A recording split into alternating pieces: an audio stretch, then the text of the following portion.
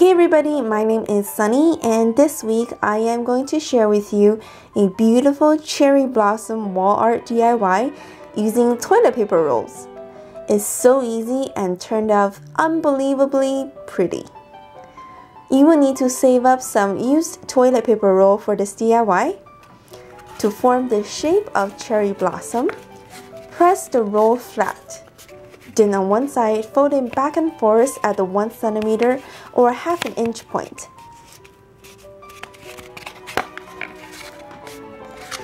Then open it up. Press inward at the tip to magically form a cherry blossom petal shape. Next, we are going to paint it pink. If you don't have pink acrylic color already, we are going to work some color magic and make the color pink by mixing one part red paint with three part white paint. You can of course add more red or white paint as you mix to adjust the color. By the way, you might want to lay down some pieces of paper like I did so the paint doesn't get onto your work surface. Once you have the right color, go ahead and paint the outside of the toilet paper roll.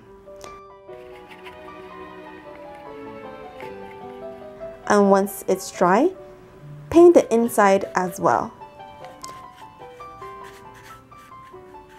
Then you want to let it dry for a few hours.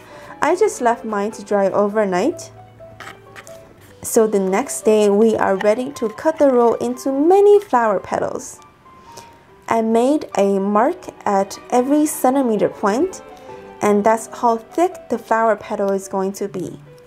You can of course make yours however wide you want it. And when you cut out each strip, you will have a flower petal. So here's what happened when I did not give it enough time to dry completely the paint stuck to itself and it was a total disaster. I like chubby petals, so I am going to squish it a little bit so it's more round. And we are ready to make flowers. Squeeze a dab of hot glue to the bottom of the petal and gently squeeze the two petals together. Repeat the process for the next two petals. Cherry blossom have 5 petals per flower and I'm going to stick to that number. But you can make mutant ones if you want.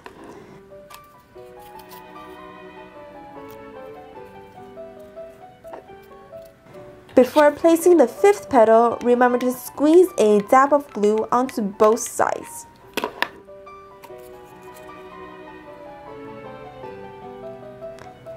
And there you have your cherry blossom.